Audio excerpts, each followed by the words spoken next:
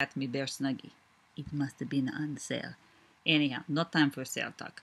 Right now, October 6th is last day to register to vote in Indiana. October 6th. That's a Monday. So go to indianavoters.com and check. You never know. They purge all kinds of things. Not purge like old country purge, but they purge all kinds of voters from the rails. Rails? What the heck is that? Whatever. So you need to go to indianavoters.com. Make sure you're registered. You may even have a name change. Even if you think you're registered, just go check and make sure. October 6th is last day to register vote in Indiana. Had friend, people make all kinds of mistakes.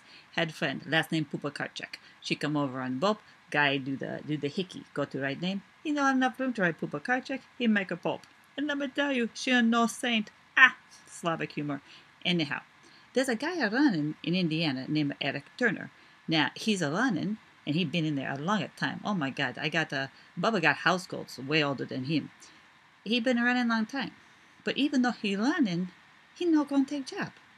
So if Eric Turner get elected, he not gonna take job. And that means you and me, we don't get to pick who it is. Oh, it's the big Republican Party. They get to pick him.